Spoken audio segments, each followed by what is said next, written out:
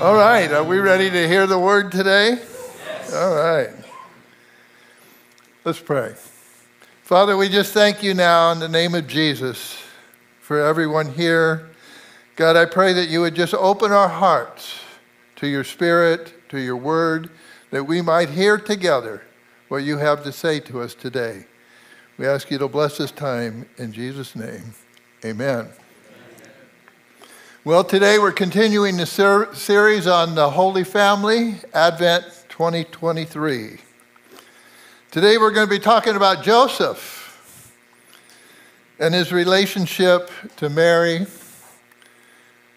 and what it was about Joseph's life that enabled him to respond to the calling of God in his life, and that is trust and obedience.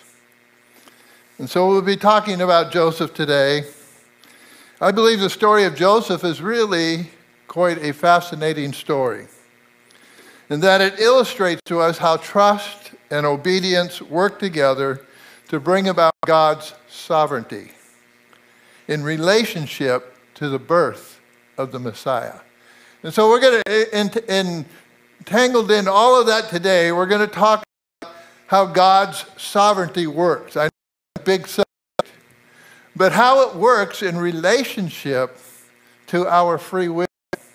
How many know we all have a free will, but yet at the same time, we want God's sovereignty working in our lives.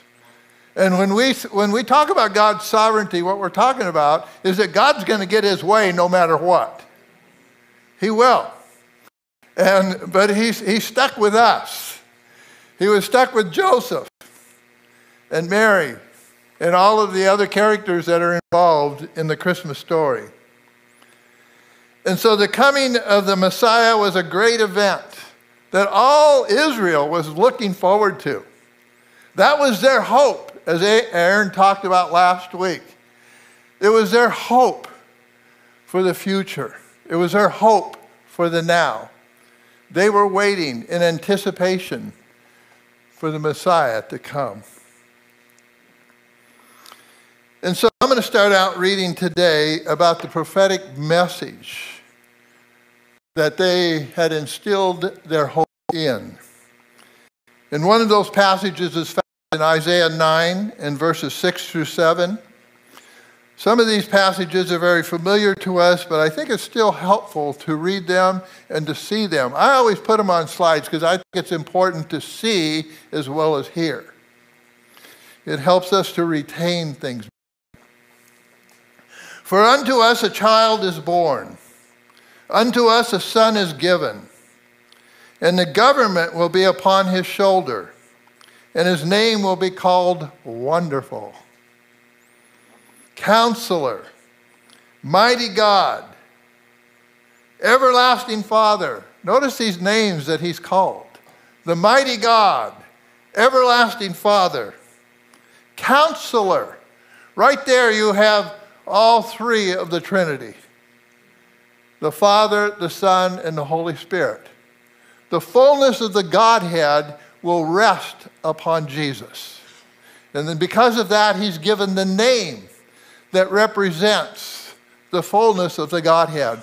And that name is the Lord that represents the Father, Jesus that represents the Son, and Christ that represents the anointing of the Holy Spirit within us. And that's why, actually, you know, when you look at baptism, it seems confusing sometimes because Jesus says, I want you to baptize in the name of the Father, the Son, and the Holy Spirit. But we find the disciples always baptizing in the name of the Lord Jesus Christ, or in Jesus, or in Jesus Christ. That's how they baptized because they understood that that name represented the fullness of the Godhead bodily. And then it goes on to say of the increase of his government, of the, or that could say of the increase of his kingdom. And so his kingdom is still increasing right before our eyes. Of the increase of his kingdom or the government and peace, there will be no end. Aren't you thankful for that? Upon the throne of David and over his kingdom to order it and establish it with justice and judgment. From that time forward, even forever.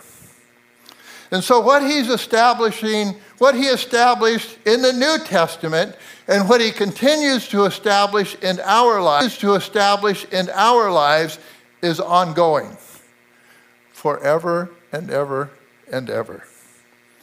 The zeal of the Lord of hosts will perform it. That's an amazing statement. It was a zeal of the Lord that brought forth his Messiah. And it's a zeal of the Lord that brings forth in our lives.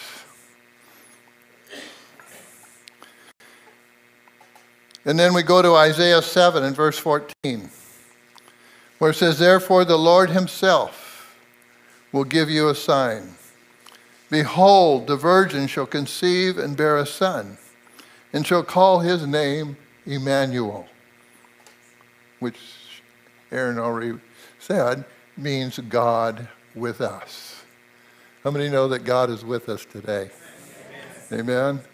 His Holy Spirit is here with us.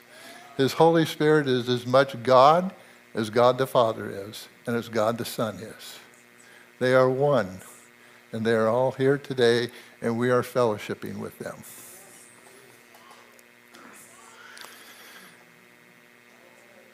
The Bible really doesn't have a whole lot to say about Joseph,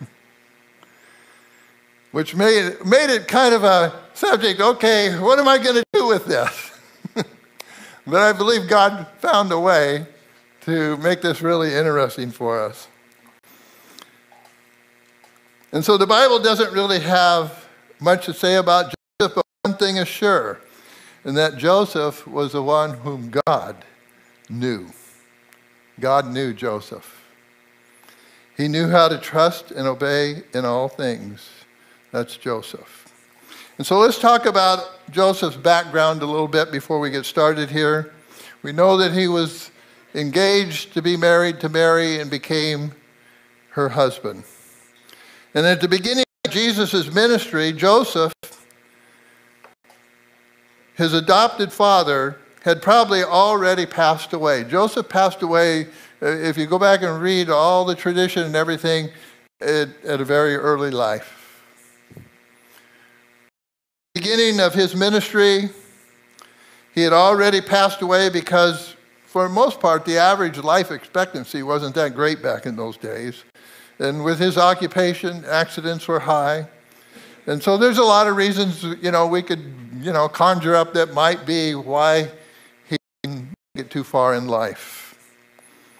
But those who knew Jesus also knew Joseph. It says in John 6 42, this is when Jesus is at Nazareth. And he said, to, and, he, and they said, Is this not Jesus, the son of Joseph?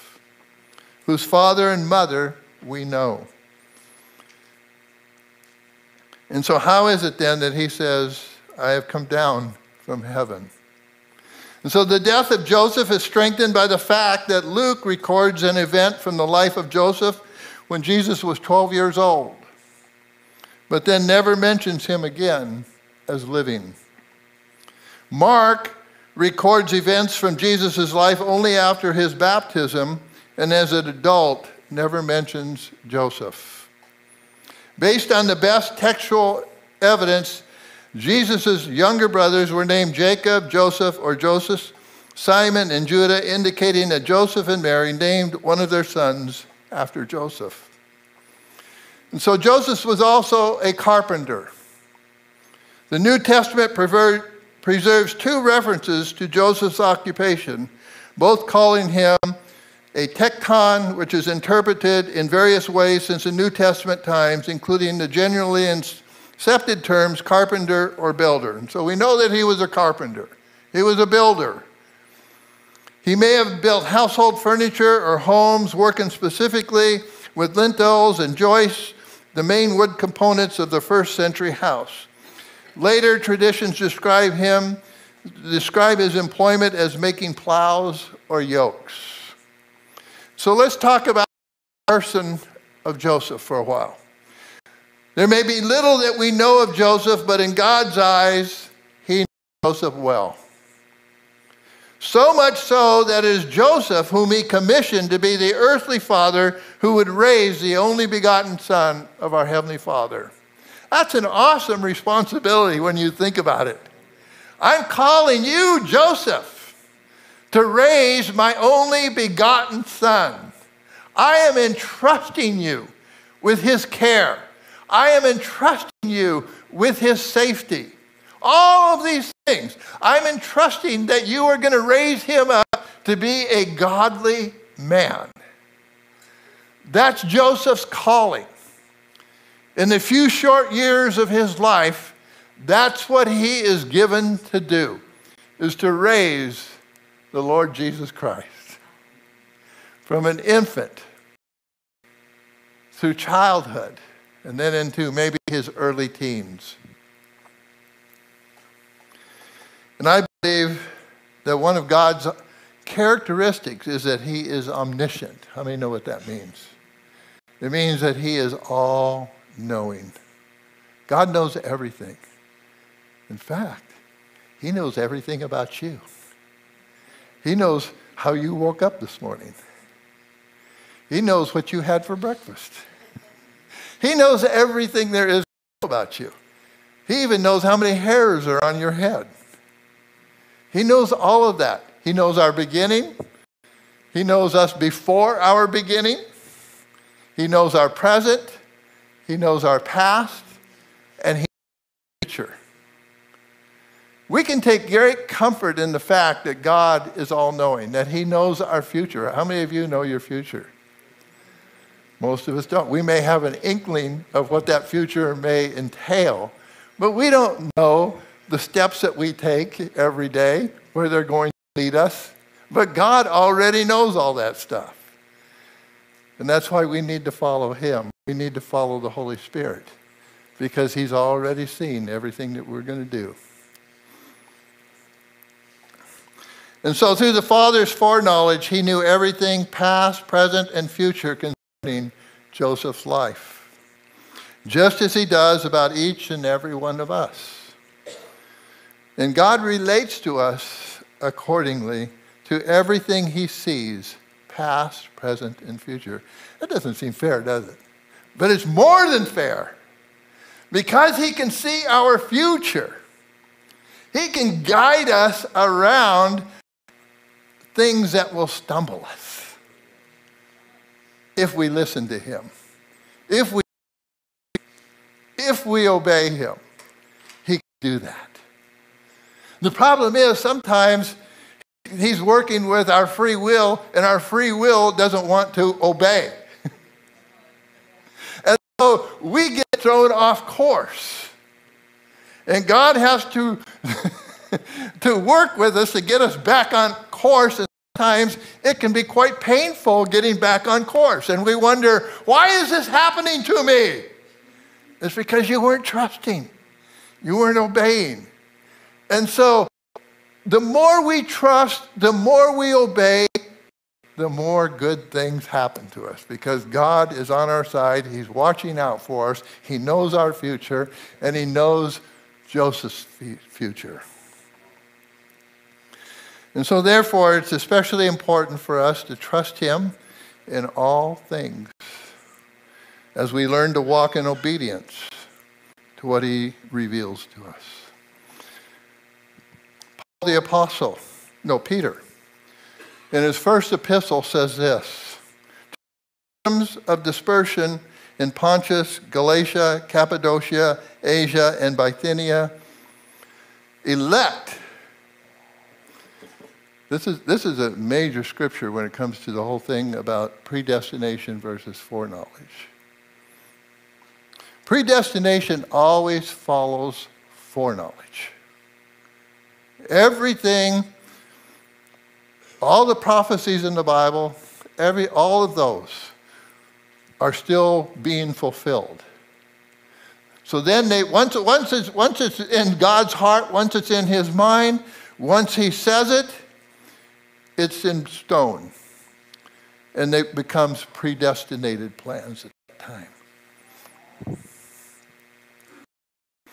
And so, to get an idea of how our Heavenly Father knew Joseph and elected him to be the earthly father of Jesus, let's look at Psalms 139.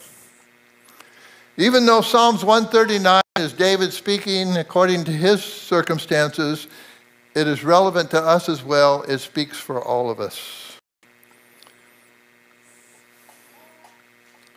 As it says, our days were written and entered into his book before we were born. In Psalms 139, verses 1, it says, O Lord, you have searched me and known me. God, you know me inside out. You know everything there is to know about me. You know my sitting down, my rising up. He knew when you sat down after worship today. he knew when you rose up before worship. He knew when you got out of bed this morning. He knows all that stuff. You know my sitting down and my rising up. You understand my thought afar off. that could be a scary thought in itself, couldn't it? you got to be, that's why he says, bring every thought into the captivity of the obedience of Jesus Christ. Because he knows our thoughts. And when we bring every thought into the obedience and the captivity of Jesus Christ, you know what happens? His thoughts become our thoughts. His ways become our ways. And it gets ingrained into our spirit. It gets so ingrained into our spirit that uh, we don't even have to think about it sometimes. His thoughts are reigning. Amen? His thoughts are guiding. His thoughts are doing all of that because we have immersed ourselves in His Word, in His Spirit, so that His life can reign through us. Amen? And that's what's happening in the life of Joseph. I believe Joseph has been a man of God all along because that's the way the Father ordained it for him.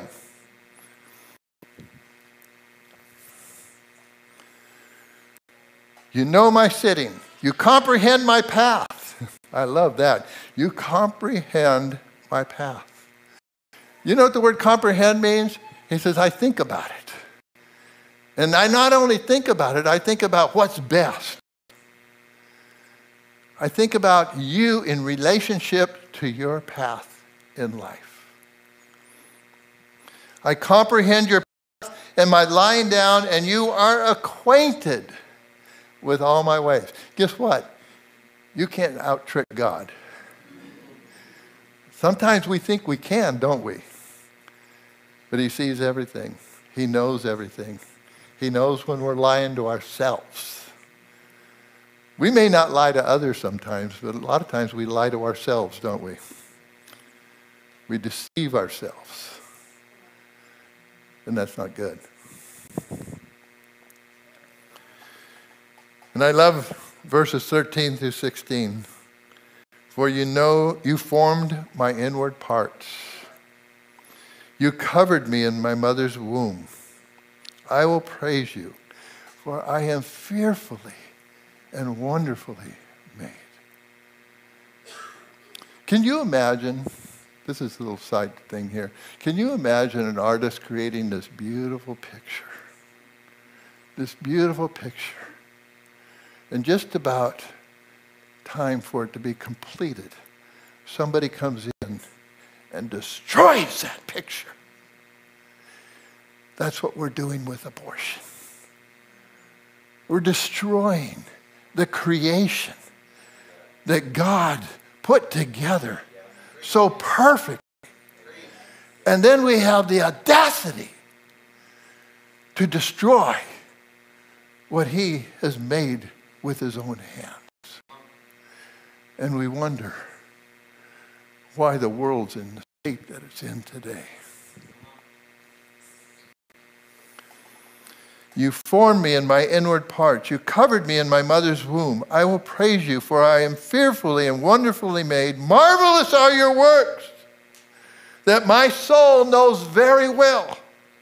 My frame was not hidden from you when I was made in secret and skillfully wrought in the lowest parts of the earth. Your eyes saw my substance being yet unformed. Before you, be, before you were even in, in your mother's womb, God saw you and knew you. He saw Joseph and knew Joseph. And he started writing the book about Joseph's life, as it says here. In your book, they were all written. When as yet there were none of them. That is a very, very important statement. And that applies to each and every one of us here today. God has written your life in His book. And He doesn't want us to mess it up. because then He has to go back and rework things to make it come out right. and so the best thing that we can do in life, and you got to hear me on this, is the word trust. Amen? The best word that we can learn in this life is how to trust in the Lord. To trust that His ways are perfect, that His ways are wonderful and beautiful and kind.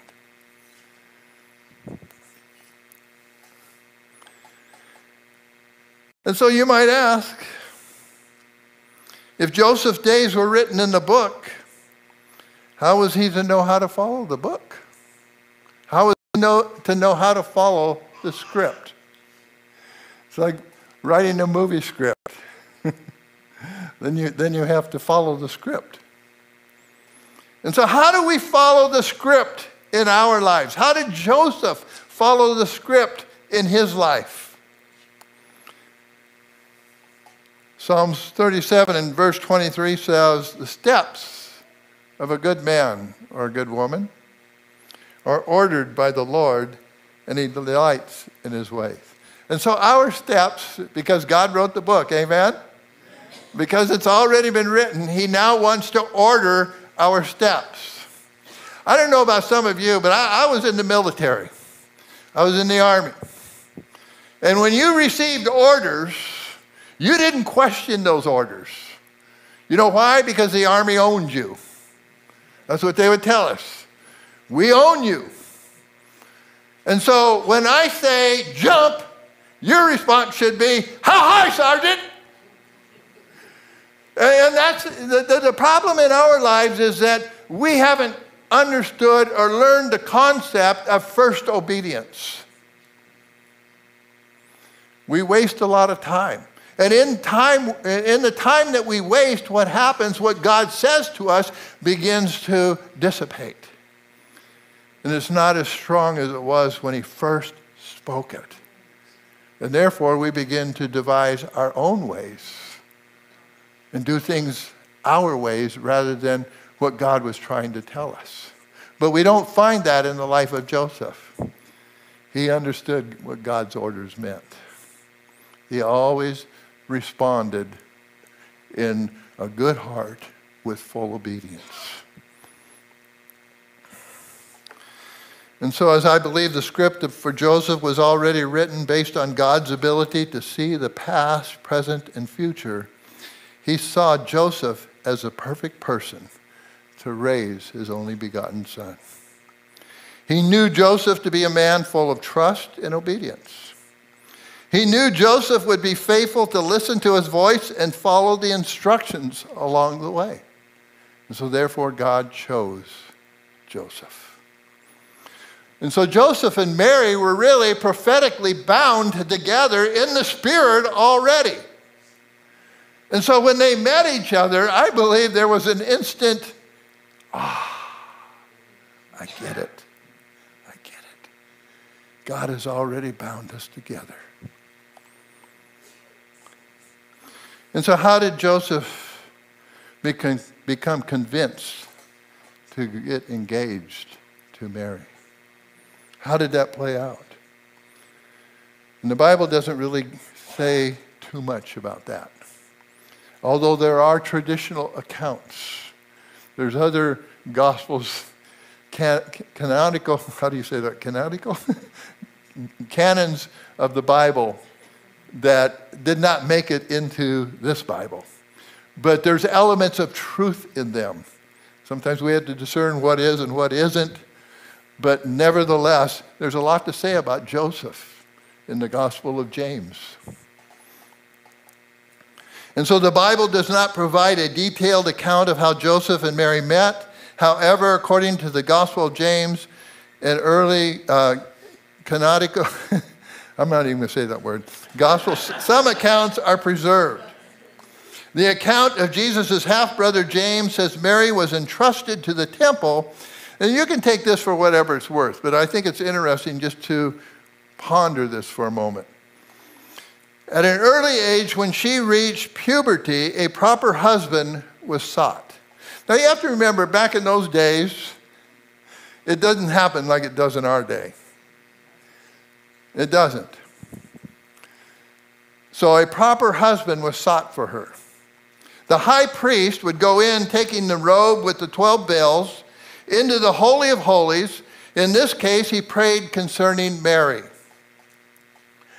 Now, what happens next is, I believe, a picture of how God in his sovereignty works with free will. Remember, God picks and chooses whoever he wants for his sovereign purposes based on his foreknowledge. Remember the scripture in, in both Jeremiah and Isaiah it says, Can the clay say to the potter?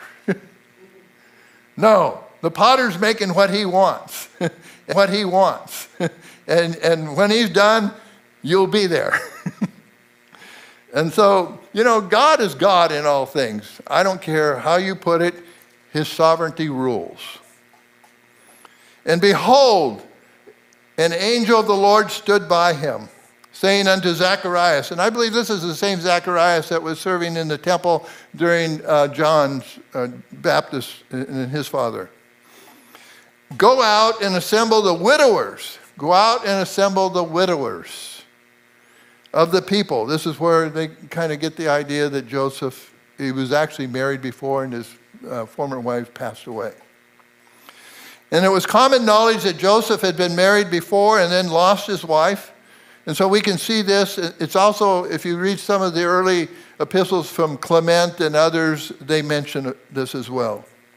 It goes on to say, let him, let them bring each a rod, and to whomsoever the Lord will show a sign, his wife shall she be. And the heralds went out through the circuit of Judea, and the trumpet of the Lord sound, sounded, and, and all ran. And Joseph, throwing away his axe, went out to meet them. And when they had assembled, they went away to the high priest, taking with them their rods. And he, taking the rods of all of them, entered into the temple and prayed. And having ended the prayer, he took the rods and came out and gave them to him. But there was no sign in them. And Joseph took his rod last. And behold, a dove came out of the rod and flew upon Joseph's head. Kind of the same thing that happened when Jesus was baptized, huh? The dove came. And the priest said to Joseph, You have been chosen by Lot to take into your keeping the virgin of the Lord. And this you have to also understand. In the Old Testament, the throwing of the lots was how they determined big things that needed to be questioned. It went on all the way up until the day of Pentecost. It was the way they chose uh, Math, was it Matthias over the other person uh, take Judas's place. But after that, you never hear of the lots again. You know why? Because the Holy Spirit came.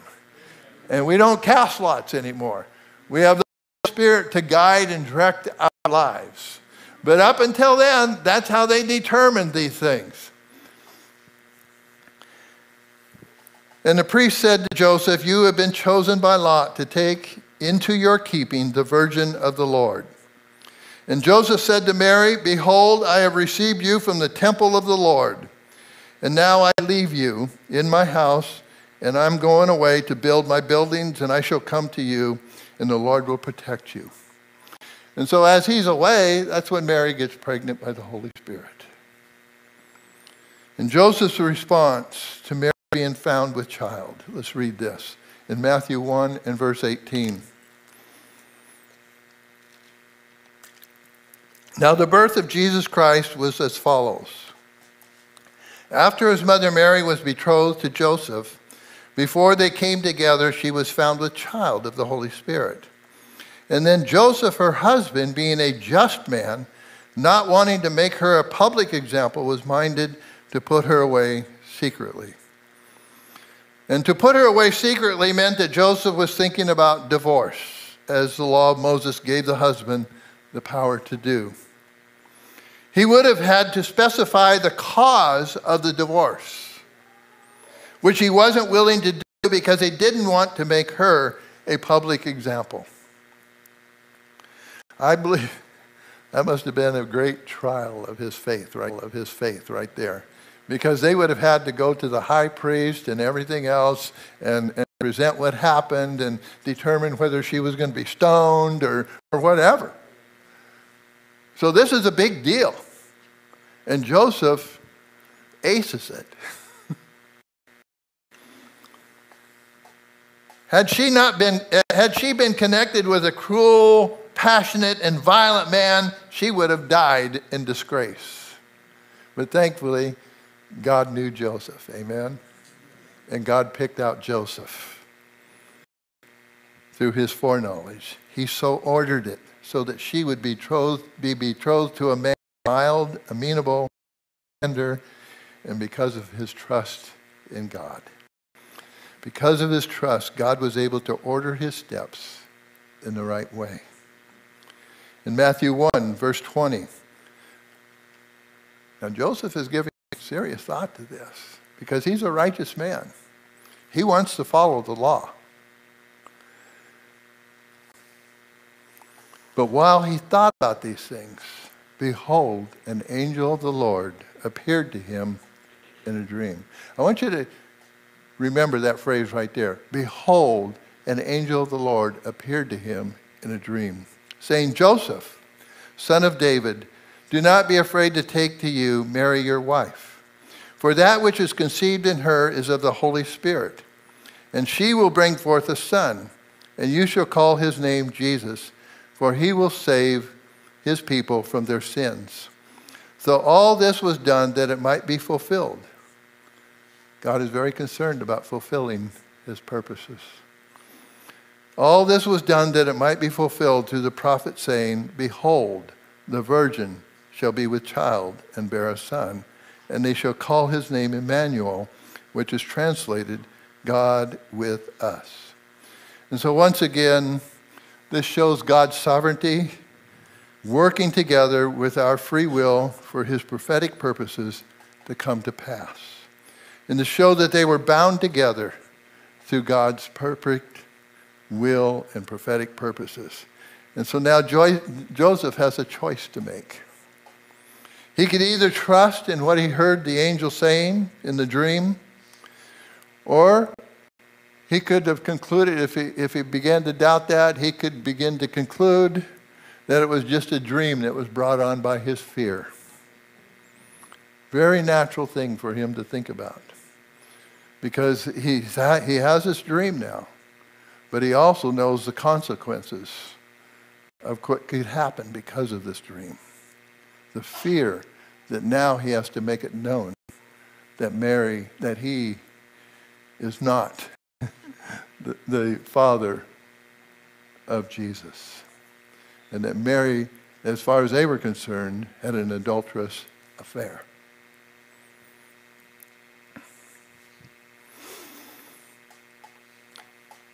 And so it's not like he's having an angel. You know, when, when Mary was confronted about it, the angel stood right before her. With Joseph, the angel's in a dream. it's more subjective. Where Mary, it wasn't subjective at all. There's the angel. okay, I got it. It wasn't that easy with Joseph. And so Joseph, being aroused from his sleep,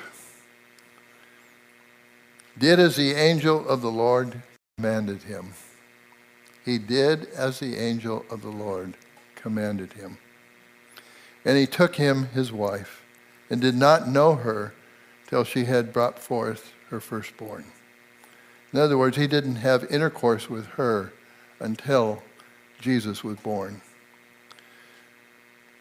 So, so they called him Jesus. And so we know that Jesus, Jesus' conversation with the Pharisees, that it was commonly thought that he was born illegitimately. It says in John 8 41, when Jesus is having that great confrontation with the Pharisees, where he says, Before Abraham, I knew you. and he uses the word I am about himself. And, and then they are ready to pick up stones and kill Jesus.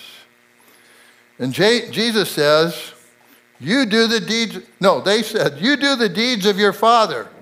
And they said to him, No, Jesus said that, I'm sorry. You do the deeds of your father. Then they said to him, We were not born of fornication. We have one Father, God. And so that's what Joseph is encountering at this point. That Mary, his wife, everybody's thinking that she was born of fornication. And so it would have been very easy for him to step back and say, I don't know anything about this. But he had to step forward and say, She did not. Amen? I know that she was conceived by the Holy Spirit. And that's the truth we are going to stand by. And now, Joseph is warned in a dream. Oh, excuse me. Mary gives Jesus due to the census decreed by Caesar, Caesar, Caesar Augustus. Joseph and the pregnant Mary traveled to Bethlehem. Joseph's ancestral home where Mary gave birth to God's only begotten Son, the Lord Jesus Christ. And so they, they worked it all out. Amen. They worked it all out, went to Bethlehem, the place that God also prophesied would be the place of his birth in Micah 5, verse 2. I think Aaron talked about that last week. And so they made it they're fulfilling the prophetic purposes of God concerning the birth of his chosen son, the Lord Jesus Christ. And then Joseph is warned in another dream to go to Egypt. After the Magi visit, Joseph is warned in a dream that he and his family must flee to Egypt to escape Herod, and Joseph obeys. Again, uh, let's read this. Then, being divinely warned, warned in a dream, they should not return to Herod. They departed for their own country another way. That's concerning the wise men. Now, verse 13 Now, when they had departed, behold, an angel appeared to Joseph in a dream, saying, Arise, take your young child and his mother, flee to Egypt. I want, I want to say something to you about this. Again, it's a dream with an angel appearing in it. And we see every time that God speaks to Joseph, that's the way he does it. And what I want to say to all of us here, God has his ways of speaking to us. He doesn't change mid course. He, he, he helps us to get familiar with how he speaks into our spirit so that we recognize that voice speaking into us. And that's what he's doing with Joseph. He's teaching him how to recognize his spirit and what he has to say each and every step along the way. It's always a dream with an angel appearing. And so, as we grow and mature in the Lord, we will have to learn these lessons if we are to be properly used by God because we are spirit beings. If we try to do ministry in the flesh, it will, not, it will do nothing but give birth to dead works. And there's already enough dead works in the body of Christ that we don't need anymore. We need people filled with the Spirit of God that know how to discern the voice of God so that they can walk in truth and obey in truth. Amen and move forward in the prophetic purposes of God. I believe that there are many prophetic purposes in God that need to be fulfilled before Jesus can return. In fact, if you look at Acts 3 19 to 21, it says Jesus is literally being held in heaven. literally being held in heaven or tied to heaven until the fulfillment of everything is come to pass, until all that the prophets have prophesied come to pass. He's literally being held in heaven. So therefore, get ready for this, because you may not like it. Jesus is not coming back tomorrow. There's too much to be done. There's, we're not a bride without spot or wrinkle. We're not there, folks. But if we want to enhance the coming or speed up the coming of the Lord Jesus Christ, it's up to us to begin to walk in the prophetic purposes of God through trust and obedience. Being obedient to His Spirit, that's where it begins. As we, as we take that step of faith and say, Lord, I believe that's you speaking to me. How am I to respond to this? And Joseph, every step of the way, knew how to respond. That that was the voice of God. And he didn't wait for a second voice. He responded immediately. He got up in that same night and fled to Egypt. And so, verse 13, I'll read it again. Behold, the angel of the Lord appeared to Joseph in a dream, saying, Arise, take the young child and his mother and flee to Egypt, and stay there until I bring you word. I'll bring you word again. For Herod will seek the young child and destroy him. When he arose, he took the young child and his mother by night and departed for Egypt, and was there until the death of Herod, that it might be fulfilled. Again, prophetic passages of Scripture have to be fulfilled, which was spoken by the Lord to the prophet, saying, Out of Egypt I called my son. And so, as I already mentioned, notice the rhythm of how God speaks to Joseph each time. An angel comes to him in a dream. And so, after Herod's death, an angel appeared to him again and tells him it's now safe to return home verse 22, chapter 2, verse 19. Now, when Herod was dead, behold, an angel of the Lord appeared in a dream to Joseph. There it is again, in Egypt, saying, Arise, take the young child and his mother, and go to the land of Israel, for those who sought the young child's life are dead. And so, fearing the wrath of Herod's son, Archelaus, Joseph does not return to Bethlehem but settles the family in Nazareth instead. Verse 22 But when he heard that Archelaus was reigning over Judea instead of his father Herod, he was afraid to go there. And being warned in a dream, he turned aside into the region of Galilee and came and dwelt in a city called Nazareth, that it might be fulfilled, again, which was spoken by the prophets. He shall be called a Nazarene. And so Joseph had learned to trust the voice of God, just as each one of us has to learn how to do. We have to learn how to trust the voice of God. And if you are a born again Christian, filled with the Holy Spirit, even if you're not, the voice of God will speak to you. Amen? But we always we don't always know how to detect that voice. And so it's important for us to learn the rhythm in which God speaks to us. Many times in our lives, because we don't respond immediately to what God is saying, we begin to doubt in unbelief. And we miss the turn in the road.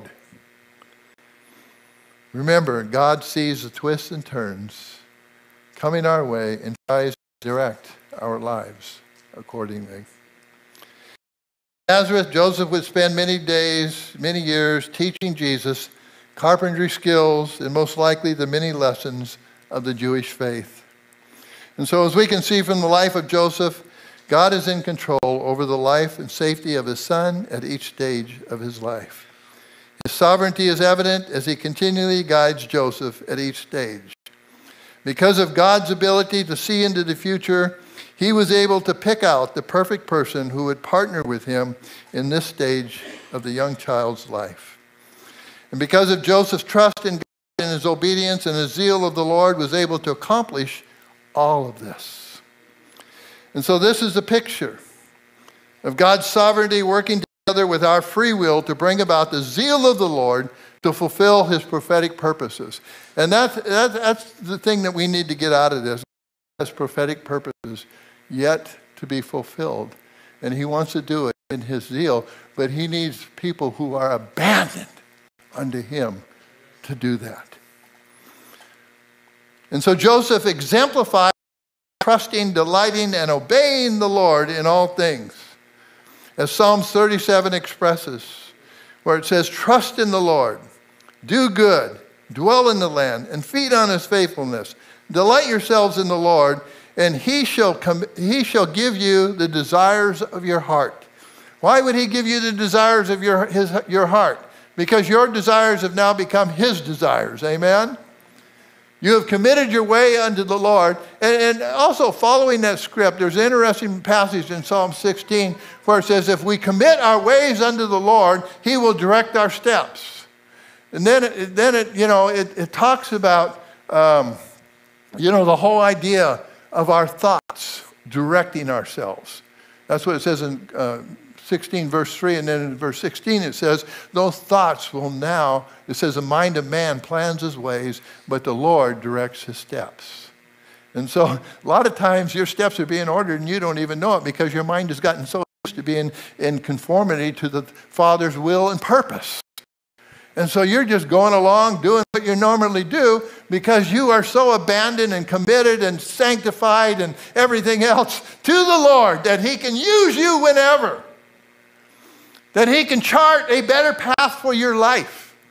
That He can create divine appointments in your life. He can do all things. We can do all things through God who strengthens us. Amen. And throughout the episode, of the young child's early life, Joseph is shown to be humble, pious, obedient man. He takes what the angel says without complaint or even reply, faithfully follows the instructions given.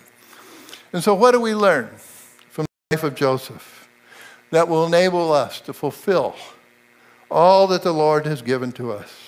I know I only have two up here, but I, I did some more after I submitted the slides. That always happens. We learn how to be, we learn how important it is to be connected to God's sovereignty in all that we do.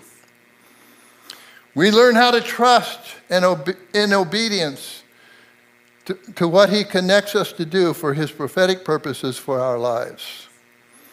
And then, just as God established a rhythm in the life of Joseph, He is establishing rhythms in our lives.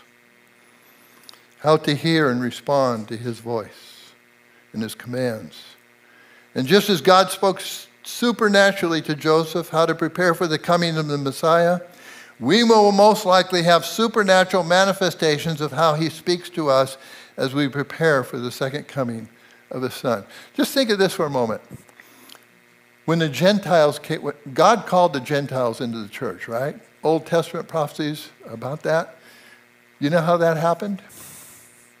Cornelius had a vision. Peter had a vision. They didn't know each other.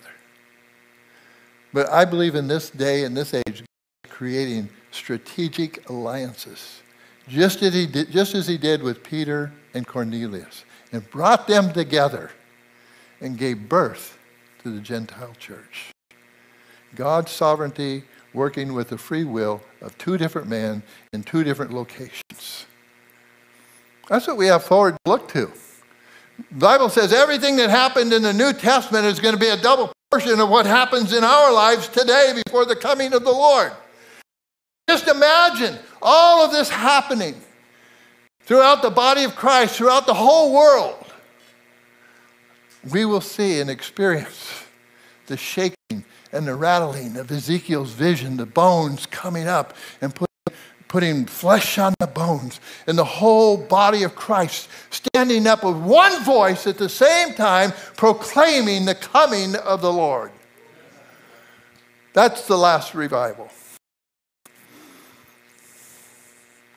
So I, I want to close with this. It's just a quick testimony of how God began to speak to me throughout, the day, throughout my life. But more importantly, as I was transitioning out of my position here at the Rock several years ago, and um, one day I was sitting in my chair. I don't know where I was sitting, but um, I heard the Lord say to me, You need to start writing your story. You need to write your story. And so I immediately obeyed.